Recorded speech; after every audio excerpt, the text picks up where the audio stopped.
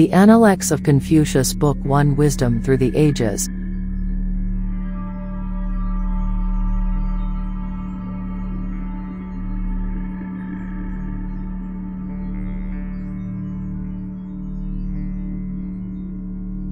Welcome to the reading to the Analects of Confucius Book 1. By Confucius. I am Chloe, I will be reading today. You are about to embark into a wisdom journey.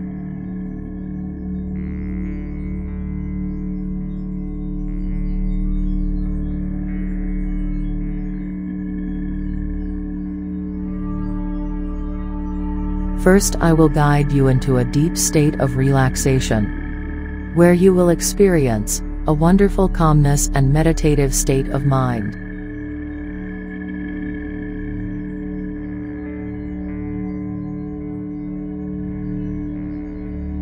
This time is for you, and you alone. Get into a nice comfortable position. I will start by giving you a little biography of Confucius. Then I will start reading his book and pause to give you time to ponder on what he said.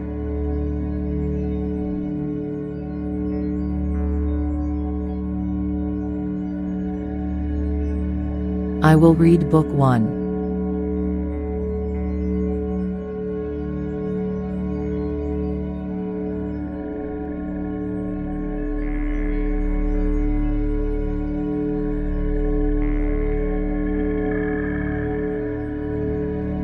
Confucius was an influential Chinese philosopher, teacher and political figure known for his popular aphorisms and for his models of social interaction.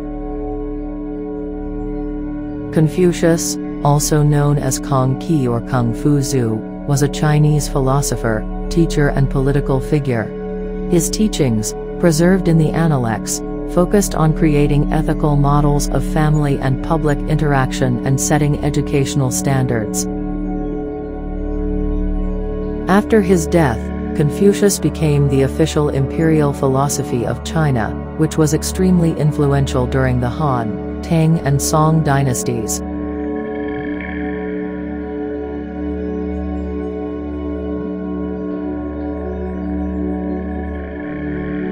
Confucius was born probably in 551 BC, lunar calendar, in present-day Fu, Shandong Province, China. Little is known of Confucius' childhood. Records of the historian, written by Sima Qian, born 145 BC, died 86 BC, offers the most detailed account of Confucius' life. However, some contemporary historians are skeptical as to the record's accuracy, regarding it as myth, not fact. According to records of the historian, Confucius was born into a royal family of the Zhou dynasty. Other accounts describe him as being born into poverty. What is undisputed about Confucius' life is that he existed during a time of ideological crisis in China.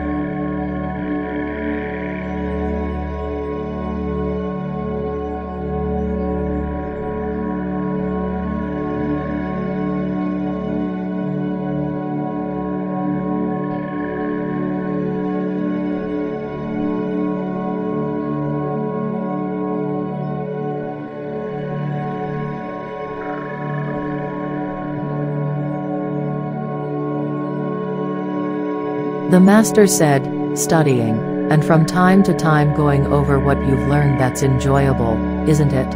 To have a friend come from a long way off that's a pleasure, isn't it? Others don't understand him, but he doesn't resent it that's the true gentleman, isn't it?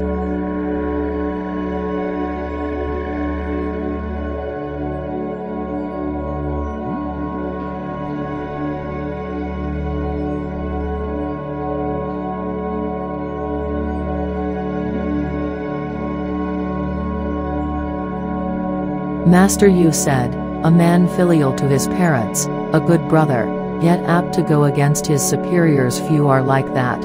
The man who doesn't like to go against his superiors but likes to plot rebellion no such kind exists. The gentleman operates at the root.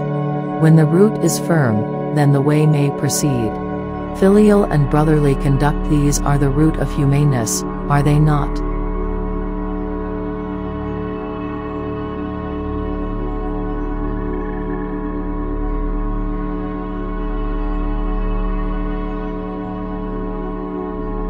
The master said, Clever words and a pleasing countenance little humaneness there.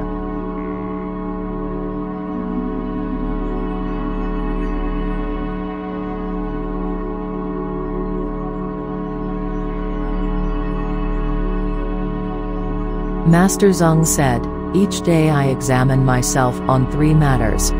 In making plans for others, am I being loyal to them? In my dealings with friends, am I being trustworthy? Am I passing on to others what I have not carefully thought about myself?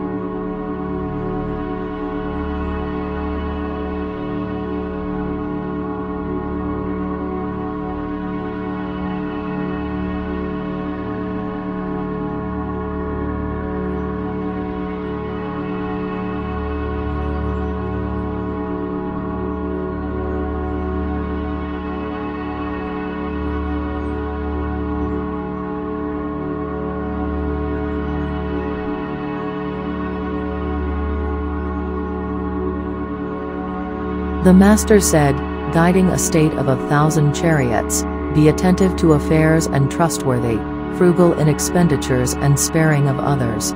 Employ the common people only at proper times.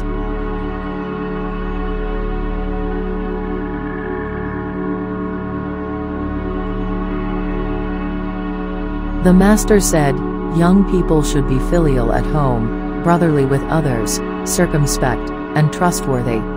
Let them act kindly toward the populace in general and befriend those of humane character. If after that, they have energy left over, let them study the arts.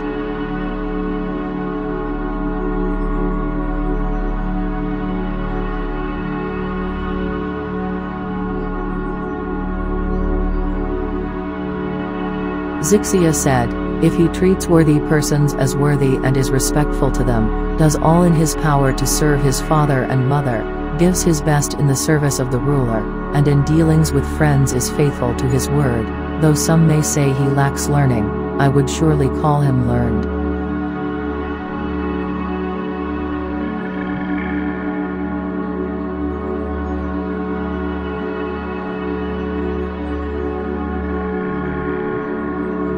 The master said, if the gentleman lacks gravity, he won't command respect. If he studies he will avoid narrow-mindedness.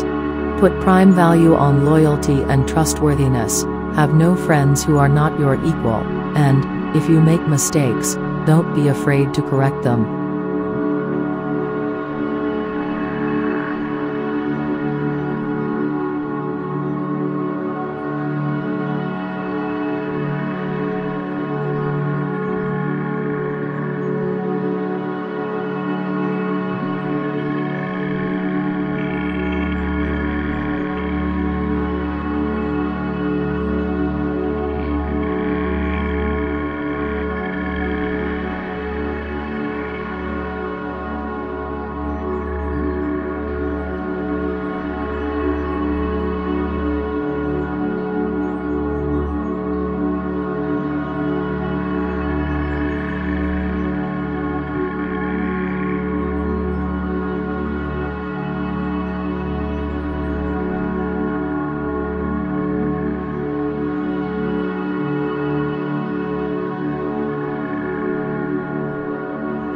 Master Zeng said, Tend carefully to death rites, and pay reverence to those long departed, and the people will in the end be rich in virtue.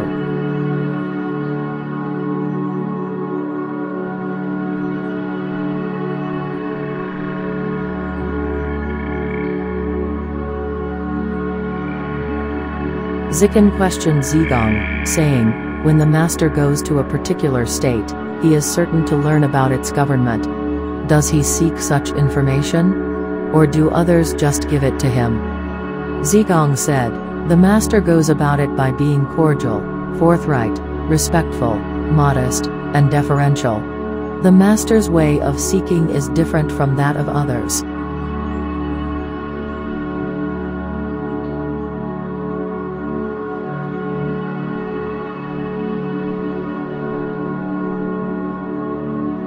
The master said, While his father is alive, observe his intentions.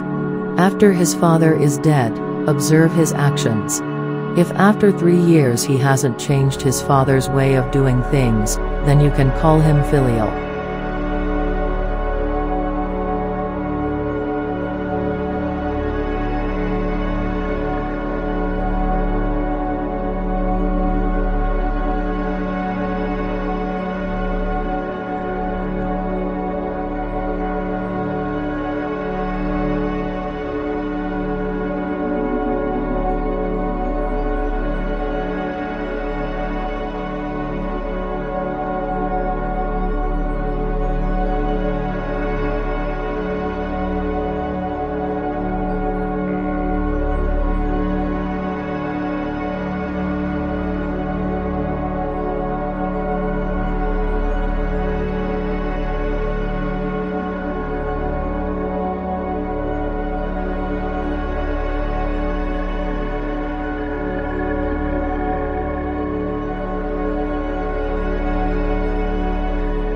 Master Yu said, What ritual values most is harmony. The way of the former kings was truly admirable in this respect. But if in matters great and small one proceeds in this manner, the results may not always be satisfactory. You may understand the ideal of harmony and work for it, but if you do not employ ritual to regulate the proceedings, things will not go well.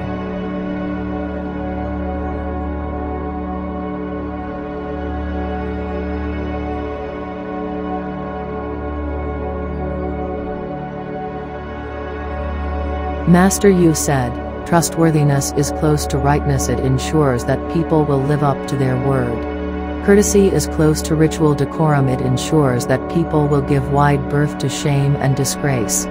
When one makes no mistakes in what he favors, he can serve as a leader.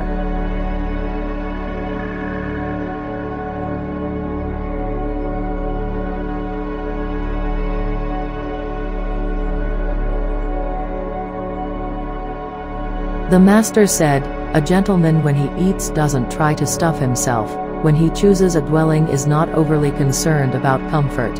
He is attentive to affairs, careful of his words, and looks to those who have the way to correct himself. He is the kind who can be called a lover of learning.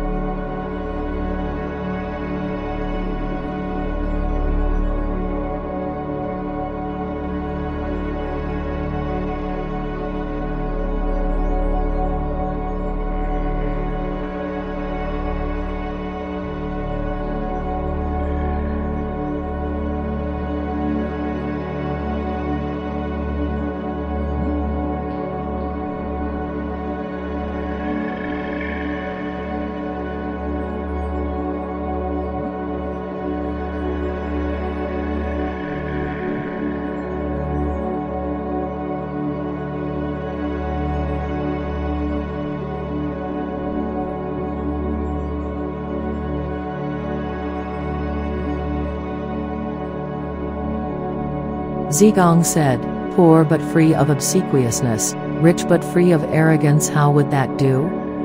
The master said, All right.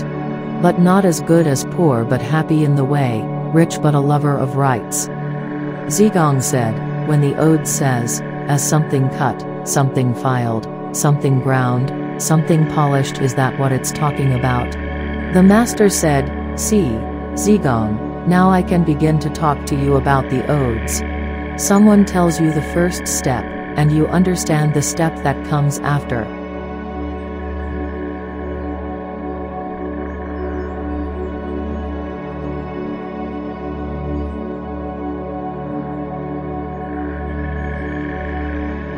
The master said, Don't worry about whether other people understand you.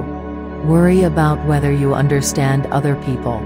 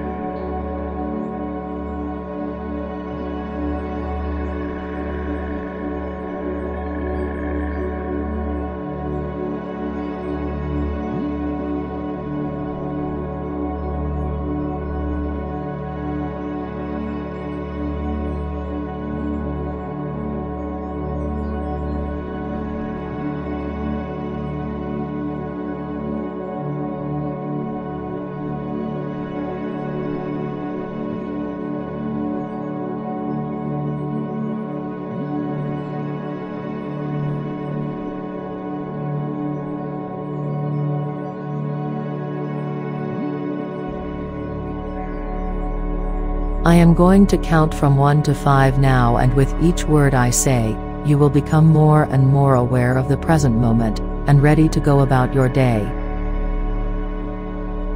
I will continue to read the book in the next part.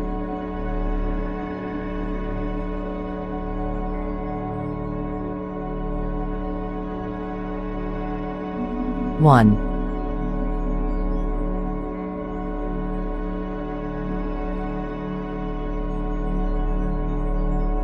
Coming back now. 2.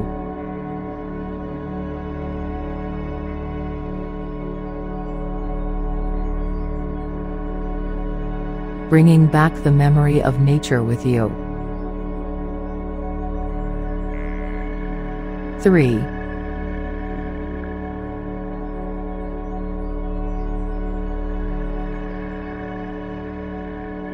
Feeling refreshed and rejuvenated. 4.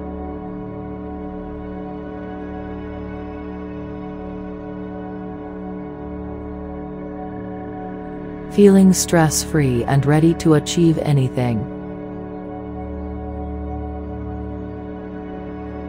And 5.